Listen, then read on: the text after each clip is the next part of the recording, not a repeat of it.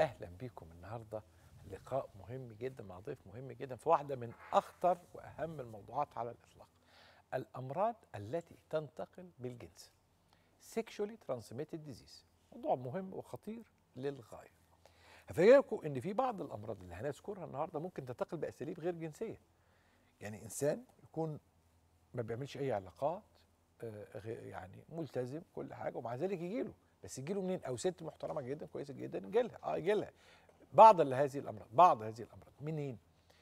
اولا إن أنا أستخدم مواد تخص حد تاني. زي مثلا مرطب الشفاه اتنين صاحبات واحدة عندها مرطب شفاه بتستخدمه واحدة هاتي كده ما أستخدمه تستخدمه ده بينقل هيربس ده حاجة خطيرة. آه، الفوط الفوط اللي هي العادية بتاعت الغسيل الوش إن أنا أروح لحد الفوطة يكون هو مسح وشه في الفوطة أو مسح إيديه. في بعض هذه الأمراض تنتقل من التاولز من الفوط الموجودة بتاعت مسح الإيدين. ممكن كمان من إزالة الشعر أجهزة الليزر أو أجهزة إزالة الشعر. بعض هذه الأجهزة لو مش متظبطة كويس جدا ممكن تنقل بعض هذه الأمراض. تبقى مشكلة كبيرة جدا. الحاجة برضو ال- ال- الخطيرة دي الوشم معرفش الوشم طبعا حرام يعني وجنان نوع من الهبل لأنه مشاكله كبيرة جدا على المستوى الصحي. الوشم ده ممكن ينقل أمراض من اللي إحنا هنتكلم فيها النهارده. والحلق ال- اللي بتتخرم أو الخروم اللي بتتعمل. في ناس بتبقى كده الستات بتعمل الحركات دي. وبعض الرجالة اللي هي معرفش يعني ما أعرفش إيه راجل يحط حلقة دي مش فاهمها. طب خلينا بس نقول إنه كتير أكتر من مليون شخص مصاب بالأمراض المنقولة جنسيا بيتم تشخيصهم يوميا. ده اتعمل CNN أصدرت منظمة الصحة العالمية بيانات بكده. في اليوم مليون شخص في اليوم. في كارثة اسمها إنه بعض هذه الأمراض بقت resistant للمضادات الحيوية. يعني المضاد الحيوي بديه اللي كان بيأثر في المرض ده قبل كده بمنتهى السهولة ما بقاش يأثر. وفي بعض هذه الأمراض توحشت زي السيلان. كنا دايما ننظر للسيلان بأنه مرض تافه بمضاد حيوي في فترة وجيزة بنقضي عليه. لا في أمراض في أنواع دلوقتي من السيلان عنيفة للغاية. تعالوا نقرب من قصص المثيرة المتعلقة بهذا الملف الخطير اللي ممكن يهد بيت ممكن يلازمك مدى الحياة تدفع ثمنه مدى الحياة. غلطة حضرتك عملتها عدت تظن إنك ما اتكشفتش تظن إن أنت ما اتقفشتش محدش خد باله سافرت ورجعت محدش سمع عن الموضوع هوبا تلاقي نفسك طول العمر تدفع الثمن إزاي هتفهمه دلوقتي؟ ضيفي العزيز واحد من نجوم عالم الجلدية والامراض الجنسية طبعا ال sexual transmitted disease الأستاذ الدكتور وحيد لطفي استشاري الأمراض الجلدية وتجميل الجلد والعلاج بالليزر استشاري الأمراض التناسلية وأمراض الذكور وتأخر الإنجاب للرجال. أهلا بيك دكتور وحيد. أهلا وسهلا بحضرتك. أنا عايز أبدأ الأول إيه هي الأمراض فهرس كده بتاع الأمراض المنقولة جنسيا. زمان كانوا بيسموها venereal disease نسبة إلى فينوس ودلوقتي بيقولوا عليها sexual transmitted disease تمام. في البداية اللي عمل illegal sex أو علاقة جنسية خارج نطاق الزواج اللي وصله للموضوع ده. رقم واحد عدم الإدراك وعدم الثقافة الجنسية. بمعنى حالات كتير بيبقى متزوج وعنده مشكلة معينة في الرغبة الجنسية. متزوج وخايف أحسن يكون عنده ضعف انتصاب أو عنده بالفعل ضعف انتصاب. أو عنده هوس في حجم الأعضاء التناسلية. أو حد مش متزوج خالص ويقول لك أنا عايز أجرب نفسي. فيعمل إيه؟ يلاقي نفسه إن هو طيب ما اجرب طب ما أشوف طب ما اغير ما أشوف يمكن هل في نوع من أنواع التغيير لما أمارس الجنس خارج نطاق الزواج.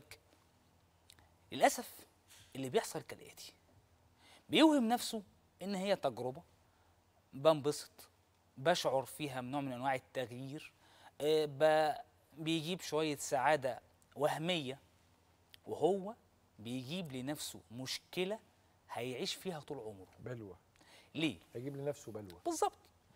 هيمارس الجنس مع حد بيكون شغلته بروستيتيوت واحدة أي حد ممكن يمارس معاها الجنس أي حد ممكن يكون نقل لها مرض جنسي هي عندها أي حد مرض أكيد. جنسي آه، مش دي مفيش احتمالات مفيش أكيد مع. تكرار العلاقات دي فهي أكيد خلاص إحنا. بنقول إن خلاص هي بقت يعني مكان يعني إيه نقول خصب بالامراض الجنسية أكيد هي مريضة جنسية فعلا آه. إيه اللي بيحصل؟ عندها هتلاقي سيلان هتلاقي عندها هنلاقي. حاجة حاجة آه، خفيفة حاجة حاجة موجودة. كبيرة هنلاقي حاجة. أي prostitute أكيد مريضة بمرض جنسي للأسف. إيه اللي بيحصل اللي بيحصل إن المريض بيعمل الموضوع ده في نوعين أكتر نوعين أنا بشوفهم. حد يعمل الموضوع ده وضميره ينقح عليه ويخاف قوي من الأمراض الجنسية. ده يجي جري يقول أنا حصل واحد اتنين تلاتة وأربعة الحقني. أنا دلوقتي خايف أحسن يكون جالي مرض جنسي. أعمل إيه؟ النوع ده بتوسم فيه الخير إن هو من كتر قلقه وحرصه على نفسه إن إن شاء الله مش هيكررها تاني. وبندعي ربنا إنه ما يكونش فعلا جاله مرض جنسي أو لو جاله ما يكونش مرض جنسي خطير. بنعمل فحوصاتنا ونشوف إيه بالظبط الوضع وبنقيمه. النوع التاني حد بيكون جاي بيكشف. أنا عندي شوف لي كده يا دكتور الحاجات اللي طالعة لي دي شوف لي إيه المشكلة اللي عندي. أنا بشوف قدامي مرض جنسي بسأله حضرتك متزوج؟ قد يكون متزوج قد يكون غير متزوج. ولكن بقول له هل حصل علاقة جنسية خارج نطاق الزواج؟ هل عملت علاقة جنسية مع بروستيتيوت في الأول بيكون في نوع من انواع الإنكار. لا لا لا ما فيش. لا ده زمان وأنا صغير. وفي الآخر بنفاجئ إن العلاقة لسه كانت من فترة وجيزة. وفعلا هو أصيب بمرض جنسي. النوع ده من المرضى أنا فعلا بخوفهم مش نظام إن أنا بخوفهم أو حاجة بوهمهم هو فعلا في خطر كبير إن هو مش معترف بالمصيبة اللي حصلت واللي هو عملها في نفسه. وهو يعني متخيل إن دي حاجة عادية وأنا صغير ولا أنا كبير ايا ما كان سنه بس دي حاجة عادية أنا بعمل نوع من أنواع آه، تغيير وخلافه بنعمل إيه؟ بنشوف الحالة اللي قدامنا. هو جاي بايه هو جاي بثآليل يعني اللي قدامي ده حاجة اسمها سنط تناسلي ولا قدامي حاجة اسمها مليساء معدية اللي هو الملاصقة؟ قدامي قرحة القرحه دي قد تكون السيفلس الزهري وده مرض خطير جدا. قد تكون آه، حاجة اسمها genital herpes الهربس التناسلي وده مرض خطير جدا جدا جدا. وقد يكون في HIV عدوى آه، مرض نقص المناعة المكتسب اللي هو الايدز ومستخبي كده وإحنا مش واخدين بالنا. ممكن يكون عنده إفرازات موجودة سيلان وأمراض أخرى مصاحبة ليها.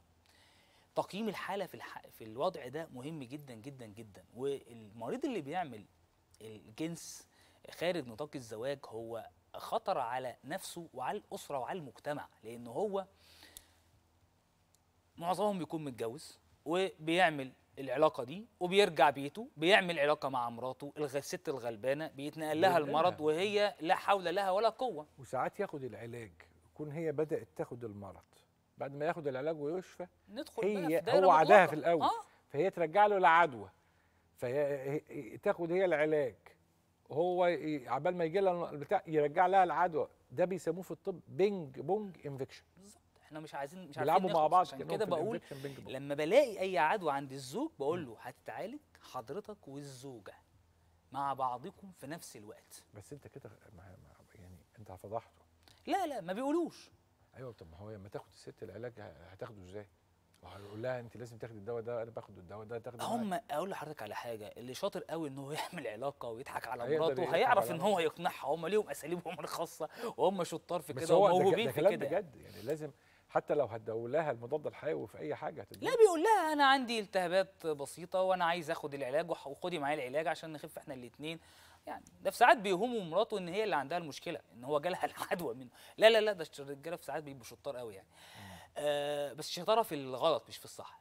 لما بنيجي مثلا دي لل الشطاره دي خير آه تخيل لما نيجي للثآليل ال- السنط اللي موجود ده السنط ده مرض سخيف جدا جدا آه، بيسببه فيروس اسمه HPV human papilloma virus 6 اسمه آه. human papilloma virus 6 هو في strains كتير آه ما هو ده اللي أخطره. بينقل السكس اللي بينتقل بالجنس هو ال human papilloma virus 6 هو في نوعين أخط... من من الأنواع الخطيرة والشرسة اللي ليها دور في حدوث السرطانات ودي مم. حاجة خطيرة جدا دلوقتي آه، كلام جديد إن إحنا لما بنلاقي مريض أصيب بالسنط التناسلي أنا أوتوماتيك بقول له لازم حضرتك وزوجتك تاخدوا المصل. لازم لأن المصل ده بيحمينا بيدينا يعني حماية أو نوع من أنواع ال protection ضد الأنواع الشرسة اللي هي بتسبب سرطانات. سرطان ولازم- الرحم. ما هي هو طبعا ده أخطر حاجة. وممكن كمان يعمل له مشاكل في الجلد يتطور السنط لأمراض جلدية أخرى عنده. فلازم بيحصل الكلام ده ولازم الزوجة بتعمل مسحة من عنق الرحم كل ست شهور. ده حاجة دورية. لو في أي تغيرات لازم يتدخل سريعا. السنط اللي موجود بيتم التع... ال- التعامل معاه. إذا كنا بنديله ال- نعمل له الكي ايا ما كان نوعه إيه كي كيميائي كي بالكهرباء كي بالليزر ايا ما كان الطريقة اللي هنعالجه بيها. وكل ما بدري يبقى أحسن لأن إهمال العدوى بيبقى سنطاية واحدة يجي لي بعديها بعشرة يجي لي بعديها بعدد كبير. متابعة المريض ده مهم جدا. يعني هو جالي النهارده عنده السنط خدنا العلاج أو يعني عملنا الكي باي وسيلة والمدام بتاعته زوجته خدت العلاج لو في برضه سنط عندها بيتم آه، كي السنط ده. وبعد كده بنحط بروتوكول متابعة علشان نشوف لو أي حاجة ظهرت تاني بسرعة لازم نقضي عليها. ده مهم جدا. مهم جدا إن النهارده الزوج اللي عنده العدوى الجنسية يتجنب زوجته. خلاص أنت جالك عدوى جنسية بعد إذنك مفيش أي سكس مفيش أي جنس هتعمله خالص مع زوجتك حتى تتعافى تماما علشان نحمي الست الغلبانة دي. آه، السنط من الأمراض السخيفة لأن فيها كتير جدا بترجع تاني وفترة حضانتها طويلة شويتين فلازم يعني نخلي بالنا قوي. لو أي حد عنده زوايد جلدية في المنطقة التناسلية لازم نعرف إيه بالظبط. هل السنط مقصور فقط على الاتصال الجنسي؟ لا زي ما حضرتك تفضلت في الأول أساليب كتيرة. هو أي contact أي contact يعني أي تلامس. تلامس مع جلد حد مصاب يبقى خلاص عن طريق السكس. لكن عن طريق إيه؟ عن طريق ممكن toilet seat ممكن عن طريق فوطة ممكن عن طريق لبس. ممكن عن طريق حمام سباحة ممكن عن طريق آه، أجهزة الليزر ال- ال- الجزء من الجهاز الملامس للجلد لو ما كانش معقم أو ما كانش خاص بالمريض ده بذاته. ممكن ينقل طبعا ال HPV فعشان ليه بنقول الكلام ده؟ لأن السائلين إذا كان ال HPV أو ال molluscum ده فعلا بيخرب بيوت، النهارده ممكن تكون آه، بنوتة أو ست فاضلة مفيش أي مشاكل خالص وكل اللي بتعمله إن هي عملت إجراء من الإجراءات اللي إحنا اتكلمنا فيها وبقى عندها الصمت أو السائلين دي. وبعدين آه، تتهم إن هي في مشكلة أو تجري آه، تسمع إن ده بيتنقل عن طريق الاتصال الجنسي فتتهم زوجها إن هو عمل اتصال جنسي مثلا وفي الآخر هو لا عمل حاجة ولا هي عملت حاجة. ولكن الفكرة كلها إن دي طرق أخرى للانتقال غير الاتصال هو الملصقم ده يتنقل بسهولة ده سهل جدا, جدا معدي جدا. وسريع جدا في العدوى. آه معدي للغاية. highly. infectious disease يعني سريع جدا. يعني مثلا ال molluscum ده لو حضرتك رحت حمام سباحة وحد جاب لك فوطة حطها لك كده وهي كان حد نايم عليها قبل كده عنده molluscum بالظبط. هتنام هيجي لك molluscum من أسهل الحاجات اللي بتتنقل وبفضل ربنا. المليساء المعديه molluscum contagiosa ومن أسهل الحاجات في. علاجها آه. سهل جدا جدا جدا هو جدا هو جدا يعني هو مصنف على إنه مرض مرض ينتقل بالجنس وبخلال ومن, ومن خلال غير الجنس كمان. آه من أدوات بقى من حاجات زي ما حضرتك تفضلت آه الحاجات التانية الهربس التناسلي من الحاجات الخطيرة جدا ليه الحاجات الخطيرة لأن اللي بيجي له الهربس التناسلي ده هو بقى معدي حتى وهو ما عندوش الطفح ما عندوش الالسرز أو الليجن اللي موجود. بمعنى إيه؟ بمعنى إن هو لازم طول عمره هيتعامل آه، في الاتصال الجنسي وهو بيستخدم الواقي الذكري. دي حاجة مهمة جدا جدا جدا لأن الهربس التناسلي كفيروس آه، ليه دور اللي هو ال herpes simplex virus type 2 ليه دور في ال cancer cervix ده ودي حاجة مهمة جدا اللي هو سرطان عنق الرحم للزوجة. فلازم نقول إن إحنا لو حاجة زي كده ان مشكله إن هي ما بتتشخصش هو بيجي له زي جرح صغير خالص على العضو الذكري أو في المنطقة التناسلية ومش واخد باله هي إيه. الموضوع بيعدي أسبوعين ثلاثة ولا كأن كان في حاجة إن هو بيخف والأعراض بتروح ومفيش حاجة تعباه قوي. فالمشكلة الكبيرة إن هو بيتم إغفاله وحد كل الناس بتتجاهل إن هو يسعى لل- للنصيحه الطبية أو إن هو يكشف عن مكان الإصابة. فمهم جدا لو في حاجة زي كده لازم بدري نروح علشان ناخد العلاج علشان تسمع التعليمات اللي بتمشي بيها إن أنت آه حضرتك هتفضل طول عمرك تعمل علاقة جنسية وأنت بتستخدم الواقي الذكري علشان نحمي الزوجة. طبعا أثناء وعندك الطفح ممنوع اتصال جنسي خالص. آه نيجي بعد كده بعد الهربس التناسلي وخصوصا اللي إحنا بنقول عليه اللي هو type 2 هو ده اللي بيعمل مشاكل كبيرة للسيفلس الزهري. اللي إحنا كنا زمان بنقول إن هو خلاص ده مرض المتحف ومرض مش موجود على الوجه الأرض دلوقتي ولكن بقى موجود وموجود بعنف كبير جدا جدا. ليه؟ واحد عمل اتصال جنسي جاله قرحه في الغالب مش واخد باله منها. القرحه لا بتوجعه وهي واحدة بس ممكن ما يكونش شايفها. وما بتنزلش أي إفرازات ومفيش منها آه، بينزل دم ولا حاجة وبتخف لوحدها. كام واحد ياخد باله؟ طب هي اللي عندها الكلام ده ممكن يكون داخل المهبل فهي مش هتشوفه أصلا. بنشوف ال- ال- السيفلس أكتر في المرحلة الثانية اللي هو بنسميه secondary syphilis بمعنى إيه؟ معنى بيجي بطفح في جسمه طفح في باطن اليد. وممكن باطن القدم. هيفتكر إنه حساسية. هو بيجي فعلا كده ولكن هو مميز قوي ومعدي قوي قوي قوي قوي. في المرحلة الأولى والثانيه معدي جدا معدي جدا. وفي المرحلة الثانية ده هو ماشي عمال يسلم على الناس. فرص العدوى عالية جدا جدا جدا. ده لازم يتشاف لازم يتعمل له التحليل الخاص بالسيفلس لازم ياخد جرعة البنسلين بتاعته مظبوطة ولازم نتابعه كويس عشان نطمن إن فعلا تم الشفاء. ليه السيفلس مرض خطير؟ السيفلس ده بعد المرحلة دي بيبقى خامل ولا بيشتكي من حاجة ولا في أي مشاكل عنده. وبعد سنين تظهر مضاعفات في غاية الخطورة. البكتيريا دي. تروح للجهاز العصبي تروح لل- للجهاز الدوري والقلب وتعمل مشاكل مميتة. فاحنا لازم نقول إن إحنا الطفح ده لازم نربطه. وعيان السفلس أنا طبعا بعمل screening وبدور على كل ال- العدوى الجنسية حتى لو جاي بشوية سيلان gonorrhea بسيطة. ولكن عيان السفلس ده لازم لازم لازم نخلي بالنا قوي إن ما يكونش عنده HIV ما يكونش عنده إيدز كتير قوي بيبقى الإيدز آه، موجود مع السيفلس ودي حاجة لازم ناخد بالنا منها. ال gonorrhea والسيلان حاجة سخيفة جدا جدا جدا جدا. السيفلس على فكرة يا جماعة من الحاجات اللي بتدمر الجهاز العصبي. آه. بتدمر ال frontal lobe وبتعمل في حاجة بتدمر ساعات ال posterior column اللي هو الجزء الخلفي من الحبل الشوكي. بتعمل حاجة اسمها tabes dorsalis وبتدمر ال frontal lobe وبتعمل حاجة مخيفة جدا اسمها GPI generalized paralysis of insane تذهب عقل الإنسان. لا نهاية آه. نهاية يعني السيفلس يعني من الناس اللي, أصيبوا بال- بالسيفلس ووصل معاهم للمرحلة دي كان رجل عصابات موجود في أمريكا مشهور اسمه الكابون الكابون آه، أصيب بالسيفلس ووصل للمرحلة دي وأثر على الفص الأمامي في المخ بالفعل لا يعني بتبقى بصراحة نهايات يعني. الس-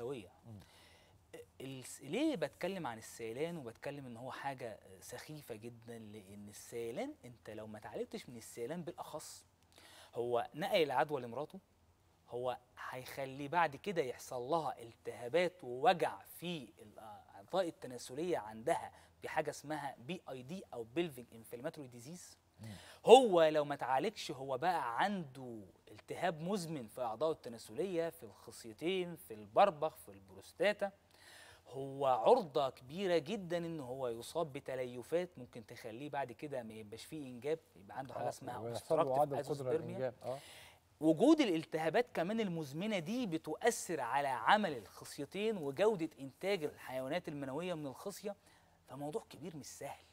آه بإذن الله علاجه سهل. لو جه في وقته وخد جرعة العلاج مظبوط ويعني لازم في نفس الوقت برضه زوجته تاخد العلاج لو حصل بينهم اتصال جنسي بعد العدوى حدوث العدوى فالموضوع مش هزار. وليه الموضوع بقى؟ الجواز سهل. الجواز سهل جدا. هو المشكلة إن هو يبقى متجوز ويروح يخون مراته ويعمل علاقات تانية. هو لا أنا أنا أنا ليا رأي واضح وصريح واللي يزعل يزعل. واحد متجوز أنا متجوز إنسان. عايز عندي القدرة المالية والجسدية إن أنا أتجوز واحدة تانية أتجوز واحدة تانية. هو هي الأولانية زعلت خلاص أوكي. أنا بكلمك عشان بس ما ينفعش الراجل أصل اللي بيحصل إيه؟ إن الراجل بيبقى عايز يتجوز وعنده القدرة فعلا ومراته تبدأ تعمل عليه حرب شعواء إن هو ما يتجوزش. فالراجل يخفي الموضوع أو يبحث عن علاقات تانية خارج نطاق الجواز. هي لو كانت الموضوع آه، آه، يعني ربنا حلله. ربنا حلله في ظروف في ظروف بس في بشرط مهم شروط. جدا العدل. بالظبط. وإن خفتم ألا تعدلوا فواحدة. لكن لو يقدر يعدل وعنده القدرة إنه يعدل وعنده القدرة الجسدية والمالية. ما هو ما حدش ما حدش يروح يتجوز على مراته وهو اللي عنده قدرة مالية أو ما عندوش قدرة جسدية كمان. هو المشكلة إن هو أو هيظلم. بيحصل, بيحصل التفاف على الموضوع. هو بيقول لك أنا ما كنتش رايح أعمل علاقة جنسية. ده أنا كنت رايح مكان فلاني ما بيعمل فيش أي حاجة في الكلام ده خالص بس فوجئت إن المكان ده فيه ممارسة جنسية. بيضحك على. نفسه. ده مجنون ده. لا بيضحك على نفسه هو بالظبط كده. هو بيبرر لنفسه. آه. هو بيبقى رايح المكان وفاهم إن المكان ده تحت أي عبارة معينة أو تحت مسمى معين ولكن هو مكان لممارسة الدعارة معروف جدا جدا. الأماكن دي بتبقى معمولة ليه. أو إن هو يخش في علاقة يقول لك ده أنا متجوزها متجوز إيه؟ هو في حد بيتجوز واحدة يومين ثلاثة ولا هو عارفها لا ولا هي عارفاه؟ اتجوز جواز محترم. لا هو ده بي هم بيسموا ده جواز. أصل أنا كنت في في حتة الفلانية مسافر وتعرفت على واحدة واتجوزنا ولا لا. اتجوزها ولا هو يعرفها ولا لا، هي إحنا مش تعرفه هنهرج بقى يعني. بالظبط آه، هي آه، المشكلة التبرير وإن إحنا يعني بنسمي آه المسميات يعني بغير يعني مفي- ما أساميها بقى- الحقيقية. آه يعني يعني أبص يعني ما هتبقى كوميديا جدا إن واحد النهارده كل شوية يتجوز واحدة لمدة أسبوع ولا أسبوعين. لا جواز جواز. أنا ال- الغريب بس بس أنا بتكلم في في منطقة عشان الناس بس ما, تلخبطش وتفهم الكلام غلط. أقول تاني ربنا جعل إن الإنسان يتجوز واحدة أو اتنين أو تلاتة أو أربعة بشروط معينة. صح. الشروط دي لازم تتطبق كلها. يعني مش شرط أو اتنين يتطبقوا فخلاص هي مش شروط لا ده هي شروط معينة. انت عندك ال- ال- الرو- اللي ربنا حله لك كذا بشروط معينة. الشروط ديت لو ما اتحققتش كلها ما ينفعش تتجوز على مراتك. يعني عدم القدرة الجنسية والماليه ما ينفعش يتجوز على مراته. إنه ما يعدلش. ما في ناس تتجوز الجديدة ينسى القديمة. ال- الزوجة الأولى يعني اللي هي ال- الاولدر ينساها. ما يديهاش حقوقها. ده راجل بي... ده راجل ظالم ده راجل حقير جدا جدا ظالم ظالم. بيظلم مراته الأولانية وبيوجه كل فلوسه ويوجه كل طاقته لمراته الثانية ده ده ده ده مفتري بيستهبل. الراجل اللي, اللي عنده عدم العدل بدأ يبان بدأ يظهر يعني في الأول كان عادل وبعدين بدأ يلخبط لا لازم يظبط أموره. بس غير كده بقى في حاجات اللي أنا بحكي لك عليها دي في ناس فعلا بيبقى الراجل عايز يتجوز ومن حقه يتجوز ومراته صحيا مثلا فيها مشكلة ومراته ضغط عليه ضغط رهيب هي واولادها إنه ما يتجوزش. ودي نصيبة سودة. وهو قادر إنه يكون زوج أو الاثنين. الهروب من المسؤولية. هي آه. مش ضغط عليه بس هو ليه اللي يدخلني في جواز وارتباط ده ومسؤولية تانية؟ فهو بي- بيلتف حول ده ذلك. للحرام وده قليل الأدب. وللاسف وللأسف يعني في مجتمعاتنا العربية الأماكن اللي هي تحت مسميات مختلف مختلفة وهي معمولة عشان ممارسة الدعارة للأسف بقت منتشرة. فإحنا لازم نخلي بالنا في الموضوع ده. اللي بيروح الأماكن دي هو بيضحك على نفسه. هو رايح مكان علشان يجيب عدوى ويطلع بيها مم. الأماكن دي مش وخلاص إحنا دلوقتي للأسف بيتم غزونا بطرق غريبة مم. وإن إحنا دلوقتي إن الم... ال- ال- إن إحنا كل يوم نشوف في عياداتنا عدوى جنسية دي مش حاجة آه، سهلة ومش حاجة بسيطة ومش حاجة معتادة على مجتمعات بين قوسين متدينة. إحنا برضو عندنا نسبة الدين والوازع الديني عندنا قوي آه. كون إن إحنا نلاقي كم العدوى الجنسية بين لا بس في الرجال؟ بس أنا أقول لك على حاجة في فرق كبير جدا في المجتمع العربي والمصري تحديدا وبين أوروبا وأمريكا.